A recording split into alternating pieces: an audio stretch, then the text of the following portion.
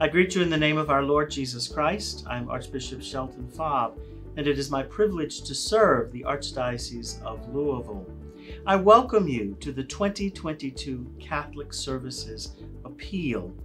The theme for this year's appeal is Comfort My People. God definitely comforts us, and the way that the Lord comforts us is through the presence and the ministry of the church. Your financial gift to the Catholic Services Appeal will impact the lives of our brothers and sisters in Christ, providing comfort and hope to those who have need of it. I want to assure you that every dollar you give goes directly to support outreach and services, providing funding for ministries that no parish can accomplish alone.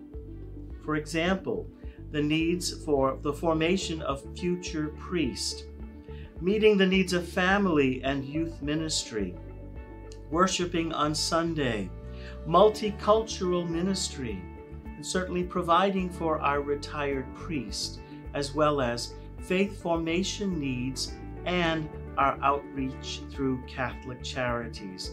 These are simply some examples of how your financial gifts will impact the lives of many, bringing comfort and hope to all of God's people.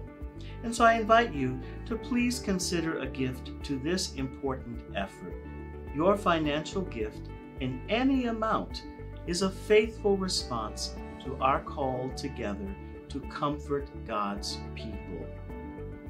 I thank you for your faith. I thank you for your generosity. May God, in His goodness, continue to pour out His blessing upon you and upon all of those whom you love. For you and I truly are the hands and feet of Jesus Christ in our world today. God's peace be with you.